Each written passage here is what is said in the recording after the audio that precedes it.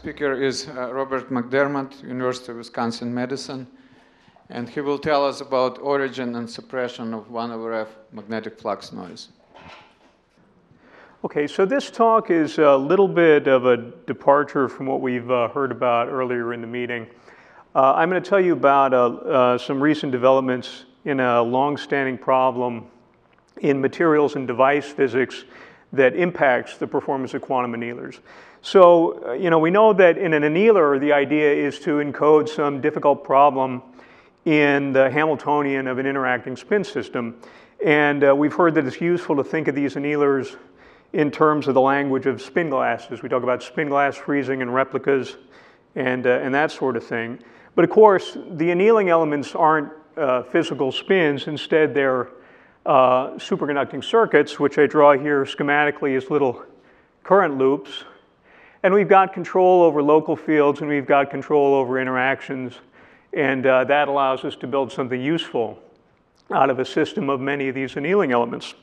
But of course, these little superconducting circuits aren't perfect. And uh, we've heard in a, a, couple of the talks uh, up to now uh, that uh, these annealers are uh, also coupled to some environment, to a bath. And kind of the, the funny message that I want to convey to you is that a really important part of this bath is uh, disordered uh, interacting spin system uh, that uh, creates fluctuations in the bias of these individual annealing elements and makes things work not quite so well. So what I want to tell you about is I'm going to tell you about the history of this problem and uh, give kind of an optimistic message that after uh, 30 years or so, we're really starting to get a handle on this disordered uh, spin glass, uh, physical spin glass that lives on the surface of our annealing elements. And uh, I'm optimistic that in the coming years we can uh, really make some progress towards suppressing the, the noise that, that comes from these uh, physical spins. Okay, so this work, uh, this is work that I've been doing at Wisconsin for uh, quite a few years, and over, over that time it's been supported by various uh, agencies, but I really want to acknowledge uh, a gift from Google that's uh, sustained this effort over the last couple of years and allowed us really to push this work through to, I think, a pretty satisfying point. point, and I'm optimistic about the future.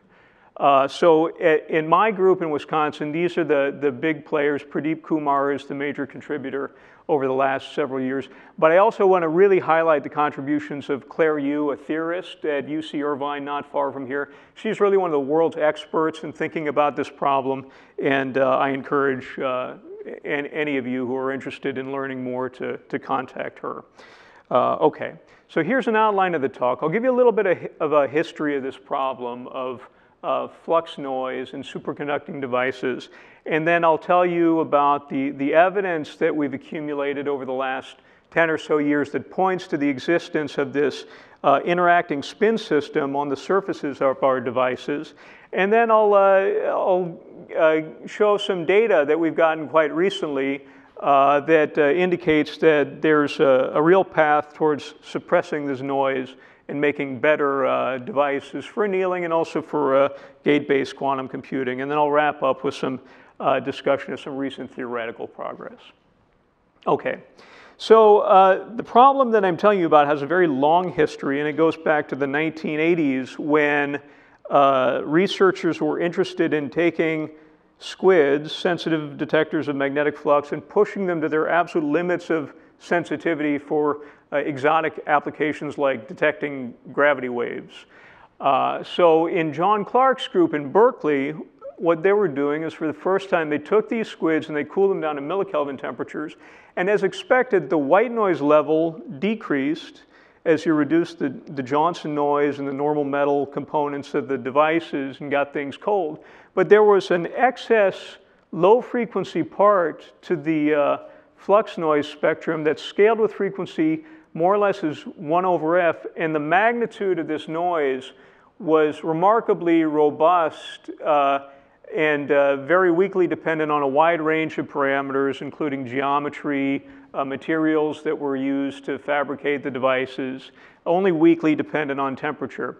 And uh, this was a, a, real puzzle at the time, and there was a lot of work uh, by the Berkeley Group and others that uh, it was aimed at trying to elucidate where this noise is coming from.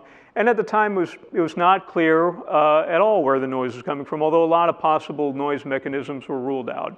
So this was a, a mystery, and it remained a mystery for uh, a couple of decades. And uh, I, I, think that it's probably safe to say that interest in the problem kind of waned uh, in the 90s. But in the late 90s, early 2000s, of course, there was a lot of interest in taking superconducting circuits like squids, very much like squids, and using those as elements in a, in a quantum computer. And what was found uh, at that time is that uh, the, uh, the dephasing times were rather short, uh, and some uh, experiments were done that uh, really showed quite clearly that the dephasing was due to uh, low frequency magnetic flux noise with a 1 over F spectrum. It's the same noise that uh, was seen in, the, in this early work by the, the Berkeley group. And so if you take a qubit and create some superposition state 0 plus 1, what you find is that the phase coherence is lost on a rather short time scale. And it's, it's possible to show that that's uh, due to this presence of a low frequency flux noise. And uh, another striking thing about these uh, early qubit experiments is that the same levels of flux noise were seen in devices that were very different in geometry, very different in scale. So for example, here I'm showing a, a photograph of a phase qubit that uh, we studied uh, when I was working with uh, John in Santa Barbara. We did some experiments and we backed out a 1 over f flux noise magnitude of a few microfie naught per root hertz at 1 hertz. And similar levels of flux noise are seen in, in other types of qubits that were very different, much smaller. For example, this flux qubit from the Delft group. Um, so again, we see that there's this weak dependence of the noise on the geometry of the device, really connects to these earlier uh, experiments from the Berkeley group. And uh, more recently, there have been some very nice experiments by Siddiqi, by the Lincoln group, uh, by the group at Google that show that this noise extends out to very, very high frequencies. It spans uh, 13 orders of magnitude, and uh, the spectrum is very close to 1 over f with, uh, with magnitude of, in the noise that's really quite uh, weakly dependent on a wide range of parameters. Okay, so where is this noise coming from? What do we know about this? Well, in um, the uh, late 2000s, about uh, eight or so years ago, uh, my group at Wisconsin did an experiment where we took some squid devices and applied a strong local field by intentionally trapping magnetic flux in the thin film of the device. I won't go into the details of how exactly we do this experiment, but the bottom line is we uh, were able to uh, measure a uh, susceptibility of the surface of the device that showed a 1 over T Curie-like divergence as we cooled to low temperature. And uh, of course, when you see this, you immediately think about magnetism, paramagnetism. And uh, I'd be happy to talk in detail about how, how we do the experiments and the analysis. But the bottom line is this uh, data was the first uh, experiment that really pointed to the existence of a high density of magnetic states that live on the surfaces of our devices. And we could do a little bit of analysis and we can back out a surface density of spins. And what it corresponds to is about one Bohr magneton per nanometer, extremely high density of magnetic defects that live on the surfaces. And since this experiment, a number of other groups have probed this surface magnetism in, in different ways. So, uh, you know, at this time we thought, okay, this is great. We know that these spins are there on the surface. And there were a lot of interesting theoretical ideas for how you could get 1 over F noise from the system of interacting spins that live on, on surfaces. And Lev Ioffe and Laura Faoro put forth some nice ideas uh, that uh, invoked spins that interacted via RKKY mechanism. There's some other ideas from John Clarke. Um, but uh, still at this time, this is 2008, 2010, uh, and a little bit beyond, we really didn't know you know, anything about the microscopic nature of these spins. And uh, in the absence of any information about where this magnetism is coming from, it was really difficult to devise ways to try to suppress this noise. And so there's a period of a few years where uh, you know, we learned a little bit more about the noise. We saw that there was noise not just in magnetization, but in susceptibility. But we didn't have an idea about how to reduce the noise. And that, that's a problem because at the end of the day, we all want to make better devices. So we want to understand where the noise is coming from so we can get rid of these uh, moments. Okay, so the, the next step forward came a couple of years ago when uh, Dave Pappas at NIST Boulder introduced me to a, a very cool technique called X-ray magnetic circular dichroism, or XMCD. And here the basic idea is you irradiate some sample with X-rays by varying the X-ray energy, by irradiating at different X-ray absorption edges, you can get elemental specificity. You can see whether the X-rays are being absorbed by oxygen or aluminum or niobium or whatever. But the other twist here is that you don't use linearly polarized X-rays or unpolarized X-rays, you use circularly polarized X-rays, which couple to magnetism in the sample. So what we do is we do a difference measurement where we irradiate with right and left circularly polarized X-rays, and we immerse the sample in a field, and that allows us to probe magnetism and uh, identify the atom that's associated with the magnetism. And you can do some DFT modeling to, to learn more about the chemical composition of the moments. And what we found, I won't go through this in, in much detail, bottom line is we took films, aluminum and niobium films that had various dielectric encapsulations, uh, the same sort of material stack that we would use to make qubit circuits, and we saw zero evidence of magnetism in any of the samples that we studied until we intentionally degraded the vacuum of the sample cryostat at the uh, end station of the synchrotron. So when you introduce a tiny, tiny bit of air or molecular O2, dry O2, into the sample cryostat, suddenly you see a very strong XMCD signature that uh, happens at the oxygen K edge and subsequent DFT modeling, density, theory density functional theory modeling by our collaborators at Irvine uh, shows that this, uh, this signature is coming from molecular O2 that is adsorbed on the surface. Okay, so this is really interesting. It's telling us that the films that we're using to fabricate our devices intrinsically aren't magnetic. The magnetism is extrinsic to the sample, and it's suggesting that if we can somehow improve the vacuum environment of the devices that uh, we're making and using for qubit experiments, uh, maybe we can eliminate this noise. Okay, now it turns out that uh, a fair amount is known about solid molecular O2 at, uh, at low temperature. Turns out it's a total mess. There are a lot of different competing magnetic orders, some long-range magnetic order uh, in, uh, in certain phases. And it's, uh, you know, I think very reasonable to think that you've got this disordered two-dimensional uh, magnet, sort of a spin glass that lives on the surface of, of your devices. And uh, the goal now is to, to figure out a way to get rid of uh, this, these oxygen moments. And uh, so that's, that's really uh, a lot easier said than done. So for uh, really a couple years, my group has been working to try to beat down this noise, beat down this magnetism. We tried a number of things that I, I won't go into, but the, in the end, I think we came up with a solution that is uh, not, not really very cumbersome. It seems to work quite well, and I think it, it offers a good path forward. So what we do is, you know, instead of putting our devices in some sort of aluminum sample box, as everybody in the community normally does, instead we make our sample enclosure out of titanium, grade 5 titanium, which is a great material. It's really hard. It superconducts. It's hard enough so that you can make um, all metal uh, vacuum seals, conflat seals. You can bake these enclosures out, achieve really uh, ultra high vacuum conditions, and uh, and it's a you know it's a pretty uh, pretty uh, uh, slick solution and easy to work with, and it's it's not bad at all. So we've done a, a, a couple of different things with these sample cells. Um, that have allowed us to suppress surface magnetism.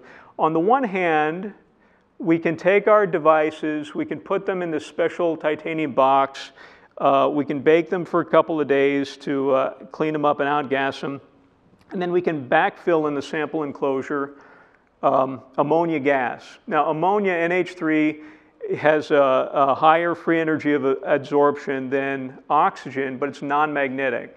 And so when we do that, when we backfill with 100 torr of ammonia and then seal off this enclosure, what we find is that when we take devices and trap flux and cool them down to low temperature so we can measure the zero frequency susceptibility, we see a much weaker magnetic signature in these ammonia passivated devices.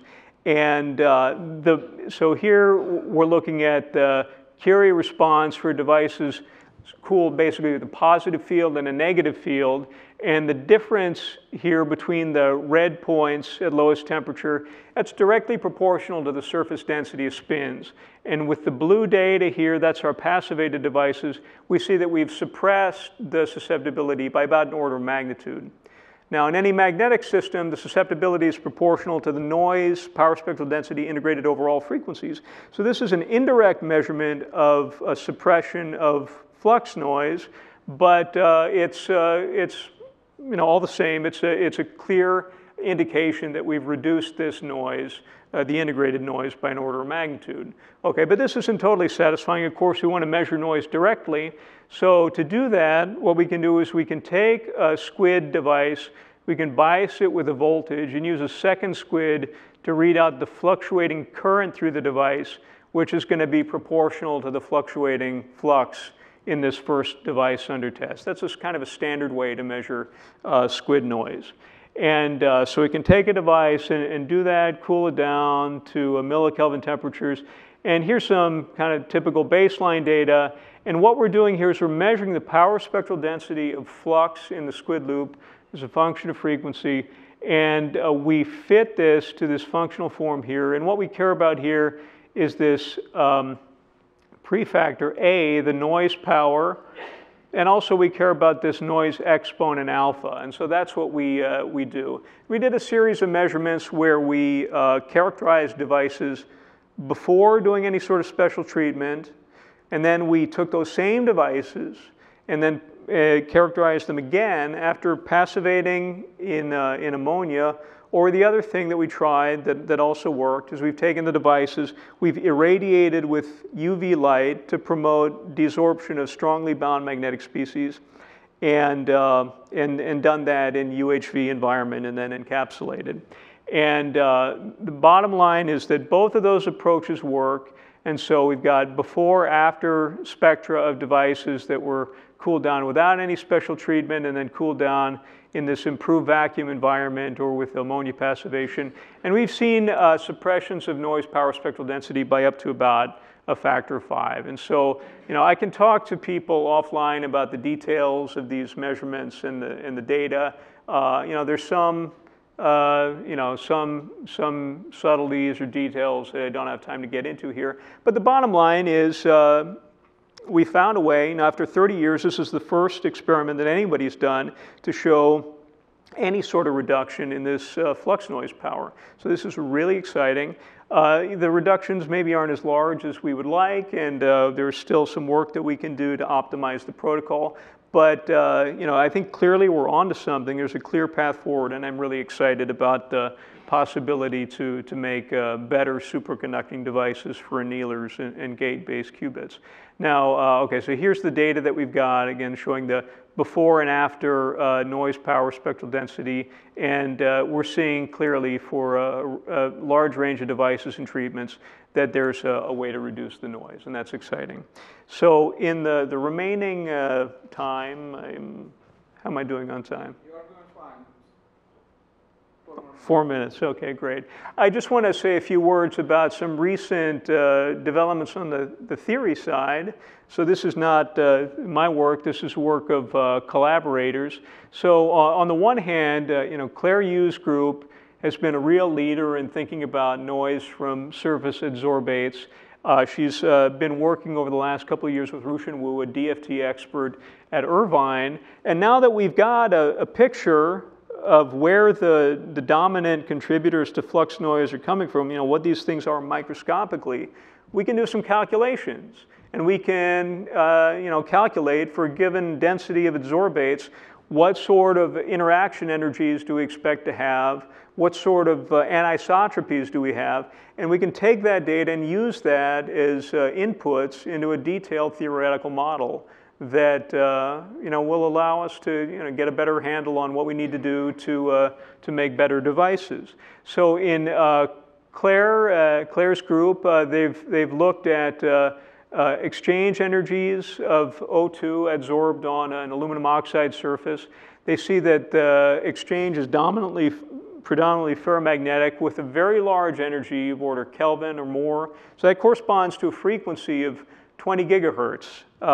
And so this, uh, this large energy scale, this is setting the, the high frequency roll off from this 1 over F noise. So this large energy scale, this is why we see this 1 over F noise going out to almost 10 gigahertz.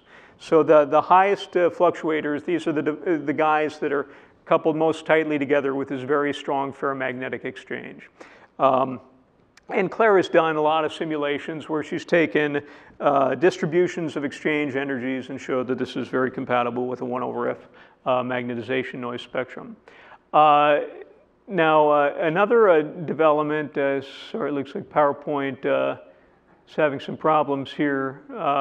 but in, in the group of Lev Ioffe working with Laura Faoro, uh, they have uh, quite recently started to think very seriously about noise from adsorbed oxygen.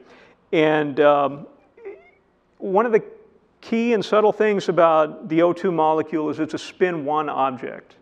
It's not a spin one half object. When you've got a spin one, that means that there's a possibility for uh, ra random anisotropy. And in uh, the work from Lev and Laura, they've uh, modeled uh, this interacting spin system as having some uh, RKKY interaction, although exchange uh, works just as well here. Uh, and this random anisotropy is a key ingredient because when, when you have that, it means that magnetization is no longer conserved locally. Okay, so previously, Lev, Laura, others have thought about some spin diffusion model, and you can calculate 1 over F spectrum uh, from uh, spins that diffuse with local conservation of magnetization. Uh, and that kind of works, but it doesn't really match up with a lot of the features of the experimental data. Uh, namely, uh, with spin diffusion, you wouldn't expect the noise spectrum to extend out to gigahertz frequencies. If you've got this random anisotropy, then that, uh, that means magnetization is no longer conserved locally. And uh, the relevant energy scale is actually going to be the bare exchange energy. Another key thing is this random anisotropy means that you can have spin clusters that get stuck in these very high energy configurations where they can't emit energy to their surroundings. And so locally, you're going to have a broken time reversal symmetry, and that's enough to give you correlations in magnetization and susceptibility noise, which we've observed experimentally, and it's really hard to cook up a theoretical model that'll give you those correlations. With oxygen and random anisotropy, this is explained in a very natural way. So uh, I'm really excited about the possibility to develop a really detailed theoretical model for this noise. And uh, with that, I think I'll, I'll wrap up. So uh, Hartmut started this, or this meeting by saying that he's an optimist. I'm also an optimist. This is a really hard problem. It's been around for three decades, but I feel really confident that we've got a great handle on this. We're going to make significant progress in the coming years. The message here is that we now know where 1 over F flux noise is coming from. There's a path forward to reducing this noise and developing a, a really uh, detailed theoretical model for noise from these adsorbed moments. And uh, at the moment, my group has sort of pivoted and we're working now to characterize this noise in uh, qubit circuits, and it's a pleasure to work with the, the Google group on this, and I think we're going to make a lot of progress in the coming years. Okay, with that, I'll end. Thanks.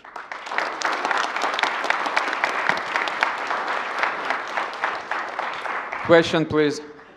Uh, please.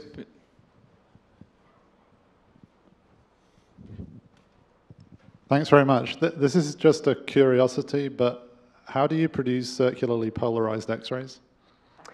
This is actually really interesting. Um, so uh, they have magnet arrays that force the electrons in the synchrotron to travel in these uh, helical paths. It's kind of nuts, but that's how they do it. Thanks. Yep. Uh, uh, Did I understood correctly that uh, when you made this treatment, the suppression of uh, the magnetic susceptibility was much stronger than suppression of the noise? That's true. And so one of the subtle points, I'm happy to talk about this in detail, is the devices that we use to characterize the surface susceptibility were niobium based. Uh, because we need to be able to trap flux vortices in the films in a controlled way. We've not been able to do that with aluminum. Um, but those niobium devices, for various technical reasons, really weren't amenable to the type of noise measurements that we could do. So we measured susceptibility on one set of devices and noise on another set of devices. So that's correct. And the susceptibility suppression that we saw is larger than the noise suppression that we've seen up to now. And uh, you cannot uh, tell that there is uh, violation of fluctuation dissipation theorem or something?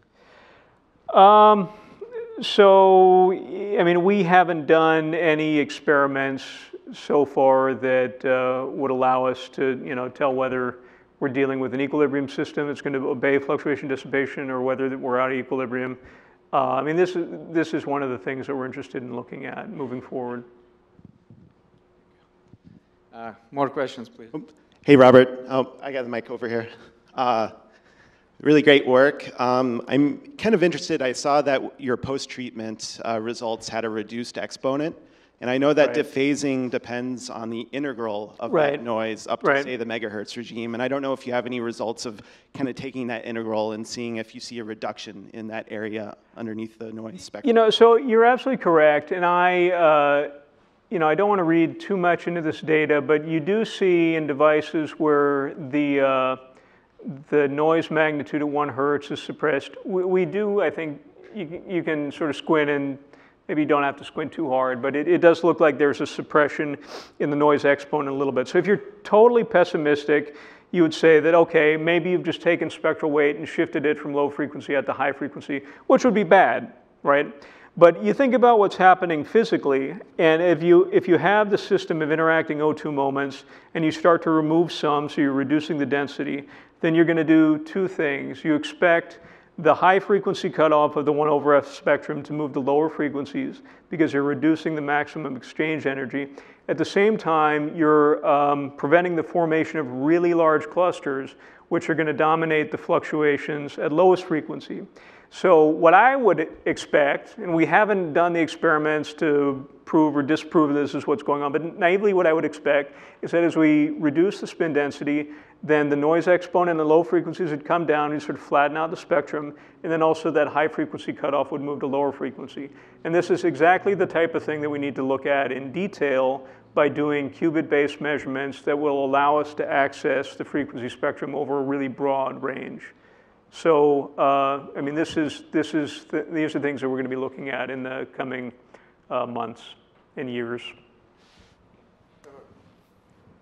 All right, uh, very nice data and, and a nice a nice set of theory to back it up. I'm just wondering, you saw a drop in the one over f amplitude, but the drop was sort of factors of two to five. Can you comment on on what do you see? Do you think that there's a maybe a second spin bath, or that you might not be removing all of them So, I mean, it could be that uh, the remaining noise is due to some residual O2 moments that aren't getting removed, and so we're we're trying to um, improve this encapsulation um protocol and create better vacuum in these sample cells. Another possibility is it could be that there's a second um, population of spins that don't live on the surface that are contributing to low frequency flux noise at some lower level. We just don't know at this point. Um, but you know, the fact that we do in certain devices see up to an order of magnitude suppression of susceptibility suggests that you know this is, is is really by far the dominant contributor, and um, uh, that's about all we can say at this point. Uh, I, I have, I have a quick question.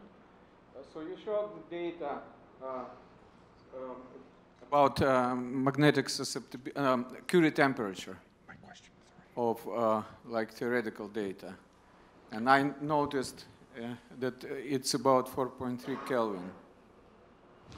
Oh, Curie temperature. Curie temperature. Yeah, so yeah, this is from uh, Clare Yu, correct. That's So if this is uh, correct Curie temperature, uh, so tho- those spins will be frozen at, uh, at, at millikelvin, completely will be out of the picture. Um, yeah, but I mean, we're dealing here with a disordered system, so you've got some distribution of exchange energies. And um, more recently, Lev's group has done some more detailed uh, calculations where they take a you know, modest distribution of exchange and they've calculated um,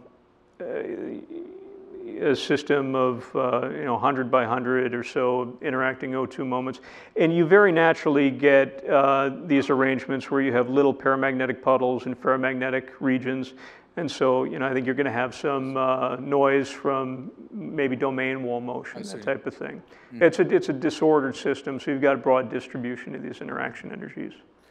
I see. So, but you are not ruling out that you might have the second bath of spins. No, I, we can't Yeah. rule it. We can't rule it out, but I think that this is certainly the dominant contributor. This is like a Yeah, Trevor's question. right. All right, thank you very much. I think we can conclude the session and thank the speaker.